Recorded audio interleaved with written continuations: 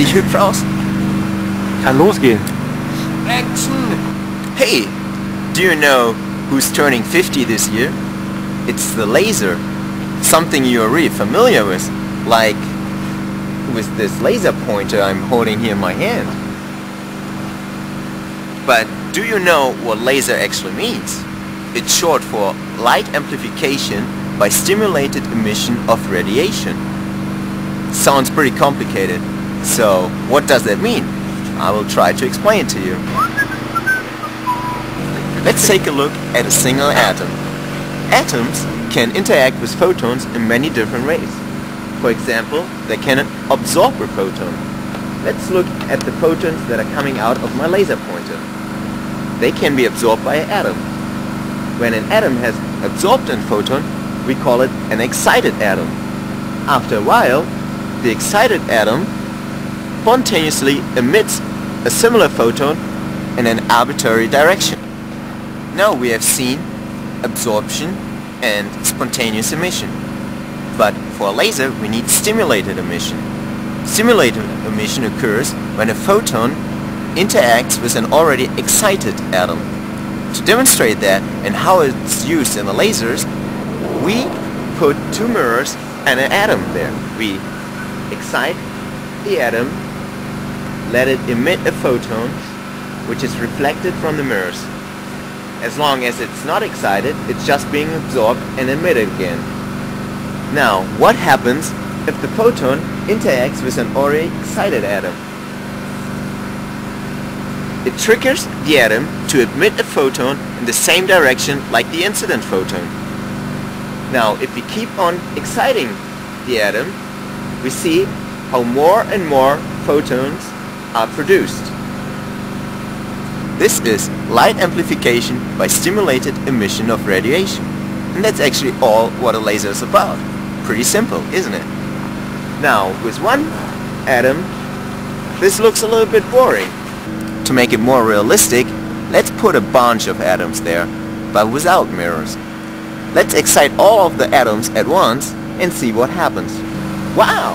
A whole bunch of photons is produced, but they're emitted in all directions. So the trick is that a laser uses mirrors. We excite all the atoms between the mirrors and they keep on stimulating each other to emit photons. Now we see the light is stored between the two mirrors. But how is the light actually coming out of the laser? The trick is that one of the mirrors is not 100% reflecting, but actually less. Let's see what happens if we make one mirror less reflective. Wow, we see a laser beam coming out, just like the laser light out of this laser pointer. Now you know how a laser works, and you can do a lot of funny things with lasers, like laser graffiti, what we are showing you now.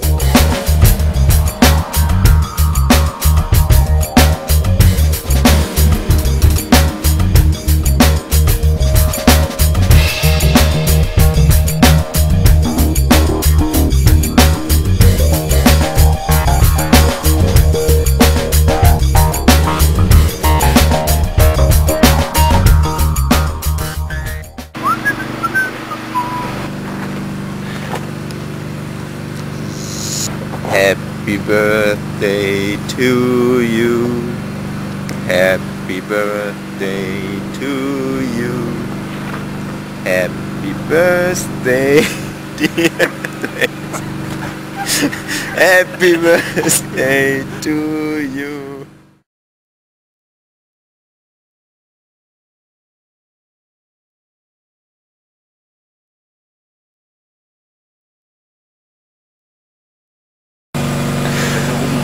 Uh. Cut.